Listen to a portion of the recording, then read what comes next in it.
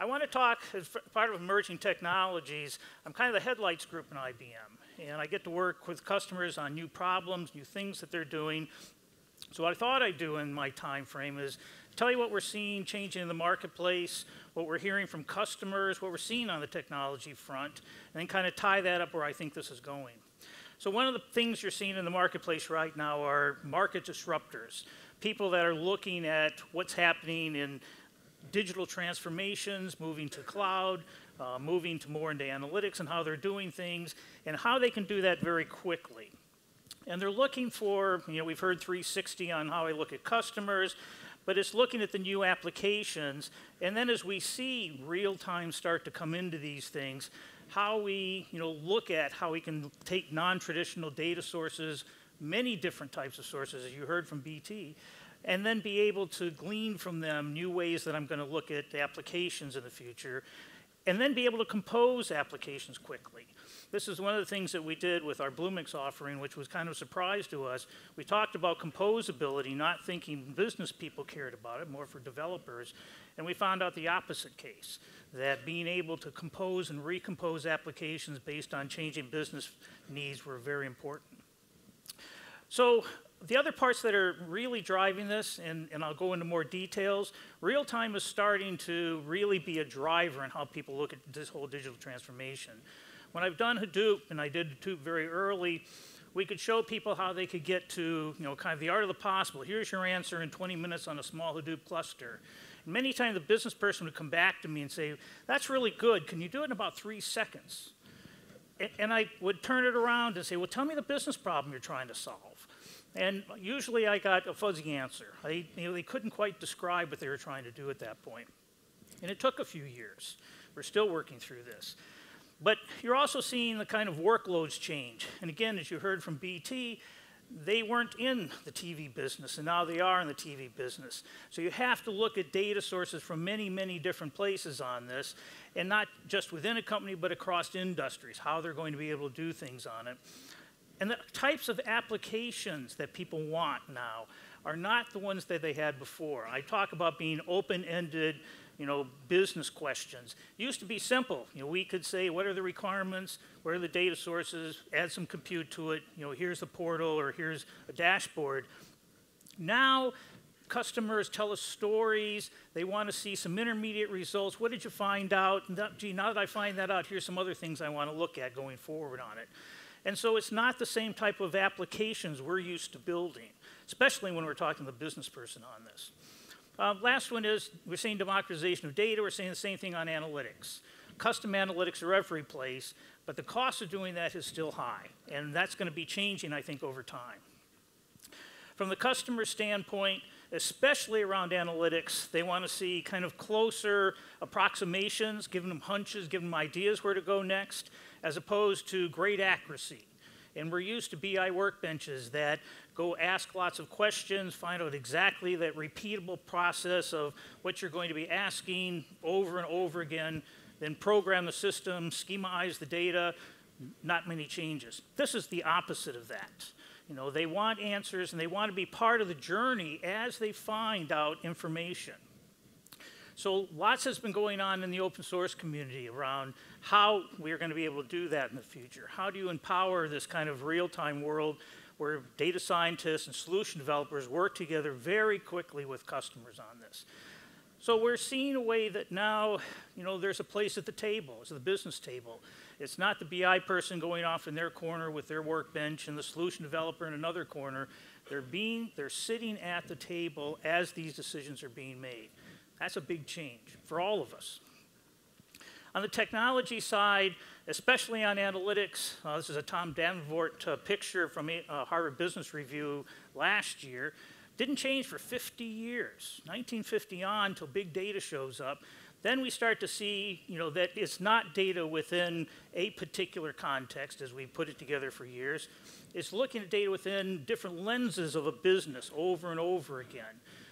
Again, BT gave a great example. How do I put everything into Hadoop and now my business people can access lots of different information and be able to contextualize that into their part of a business. But now we're moving past that even. this just-in-time analytics. How do I embed decision-making, machine learning, other aspects right into my business processes? And I need to do it quickly because as we see, you know, businesses evolve, especially with digital transformations, they want to be able to keep up with their competitors. They want to be able to, you know, find that advantage to go forward. That's really affected kind of the programming model. And this is one of the things that I've enjoyed um, learning and watching over the last few years. We always picked, you know, with a business problem, then looked for the programming model or framework to better suit that for it. Early days, we had batch systems or interactive or real time. Very different programming models for them. By the time we get to Hadoop, we start to see unstructured and structured data come together. We start to see that interactive and uh, batch types of things that Hadoop is good for come together with less programming effort than before. Real time, not so much. These were always problems for us because, again, if I started with a business person and said, I think I can solve that with a Hadoop in a few minutes, and they change later and say I need it in 200 milliseconds, I got to start over. I've got to redo everything from scratch. So today, especially with kind of the Analytics 3.0 space, you're seeing these things about unified programming models. Thinking about the solution developer and the interaction with the business people. How can we help you be productive very quickly and not have to go through those knotholes of changing all the time? So as you see, Apache Spark, one of the things that we think is, is very useful in this, they've pioneered the idea and the technology around unified programming model. I think Databricks is here. Kudos to them for their leadership. This has really helped in terms of early things I'm doing where I don't have to start thinking about the technology from square one. I start asking lots of business questions. I can use Spark to be able to, you know, then as an underpinning, be able to build the application I need to build. But I don't have to start there.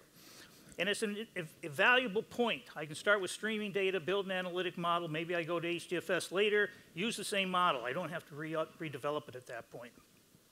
So we think of Spark as kind of an integration point, how people can utilize it in existing solutions and new cloud solutions, how they can you know, automate machine learning and other pieces to be able to do their uh, applications quicker. And one of the key points is, is around loosely coupled data.